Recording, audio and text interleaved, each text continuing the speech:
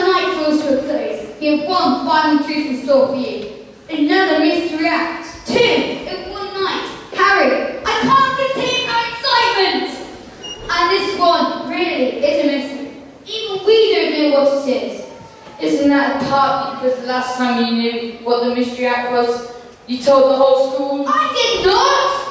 It was my sister! Anyway, I think you'll find this absolutely no one knows what this one is. Well, I sure am intrigued. We better. We really hope that you enjoyed your evening with us tonight and got to see just a little bit of what we love doing in our music department at school. A massive thank you goes out to all the students and staff involved in the concert. What a way to kickstart the summer. Whatever or whoever you are, please take it away, mystery act number two.